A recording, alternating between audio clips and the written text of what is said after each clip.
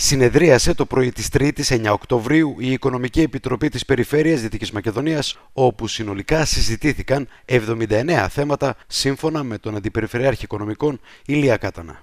Ολοκληρώσαμε πριν από λίγο την 40η συνεδρία της Οικονομικής Επιτροπής της ε, Περιφέρειας Δυτικής Μακεδονίας με 79 θέματα, ε, θέματα σημαντικά για ολόκληρη την ε, περιφέρεια. Εγκρίναμε 142.468, αποδεχτήκαμε στην ουσία ένα μεγάλο ποσό από το Υπουργείο Εσωτερικών, όπως εγκρίναμε και το ποσό της 16.000 περίπου που αφορά το δίκτυο διασύνδεσης στο κτίριο του Δικητηρίου Πτελεμαίδας, αλλά και 41.000 ευρώ που αφορά το έργο για να βελτιώσουμε τον αγροτικό δρόμο στην περιοχή Βογκόμετρα του Δήμου Σερβίου Βελβετού.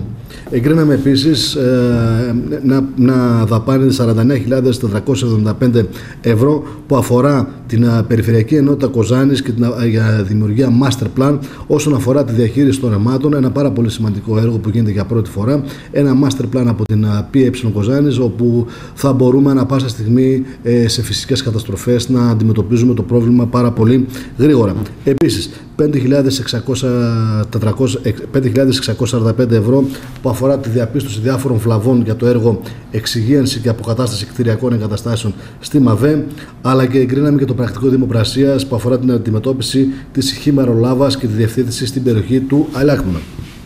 Στη συνέχεια, εγκρίναμε την αντιπλημμυρική προστασία, το πρακτικό δηλαδή του διαγωνισμού της αντιπλημμυρικής προστασίας, καθαρισμός και της ποταμών περιοχής Άρμενο-Χώρη Μεσονίση στην Φλόρινα, αλλά και διαθέσαμε την πίστοση για την οριζόντια σήμανση των κόβων στο επαρχιακό οδικό δίκτυο ολόκληρης της Περιφερειακής Ενότητας Κοζάνης.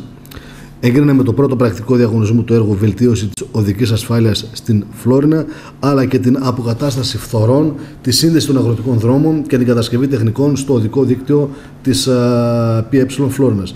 Τέλος, εγκρίναμε το δεύτερο πρακτικό ελέγχου των δικαιολογητικών για τη συντήρηση τεχνικών έργων και άλλη μια οικονομική επιτροπή που δίνουμε μεγάλη έμφαση στα έργα οδοποιίας, μεγάλη έμφαση στην οδική ασφάλεια της περιφέρειάς μας, αλλά επίσης περάσαμε και πάρα πολλές δαπάνες που αφορούν πολιτιστικές εκδηλώσεις, προάγοντας τον πολιτισμό σε ολόκληρη τη Δυτική Μακεδονία.